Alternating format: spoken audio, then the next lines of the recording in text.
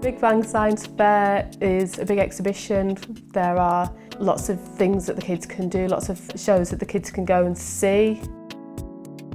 There are lots of stalls that the children can do um, little hands-on tasks. People from the industry there and the university showing off their work. It's full of people and full of different things you can do and you walk around. There's loads to look at and it's like too much to look at in a day.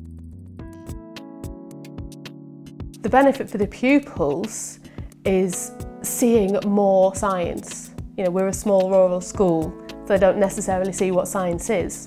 So to go to something like the Big Bang Show, you're exposed to so much more science than we get in school. Uh, it was interesting, um, there was loads of different things on offer for us all to do and you all had a go at different things and it, it explained more about what science was and like got us interested in it. The first impact was just seeing lots of other pupils and lots of other schools because they don't see that. You know, they know the schools that are nearby and this huge sort of mix of pupils that were there.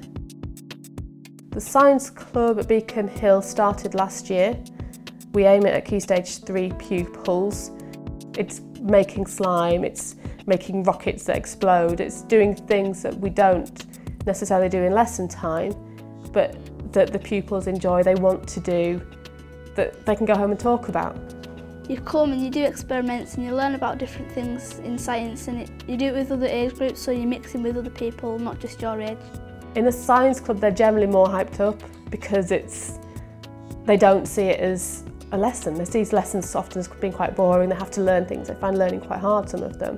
It's fun to do and it's fun, to, you can go with your friends and it's something all to do together.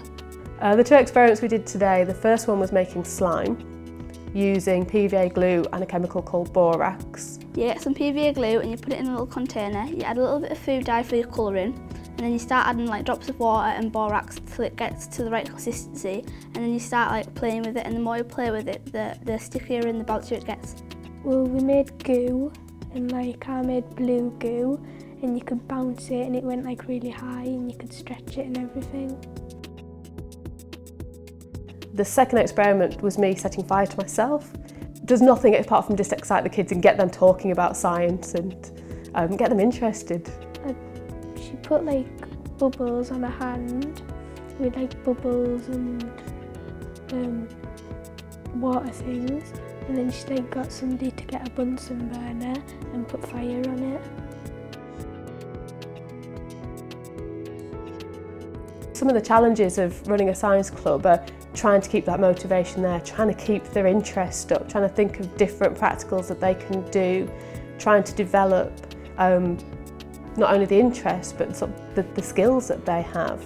I like science more now because it's more fun and it's like more blowing things up and making goo instead of writing this and writing that. Um, science club is just a fun way of learning science, it just makes it more fun than just doing it in lessons.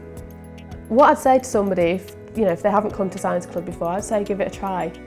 You know, see what happens, see what it's like. You don't have to come back again. But, you know, the whole point of Science Club is to do exciting things, interesting things, things that go whiz and bang and make a mess.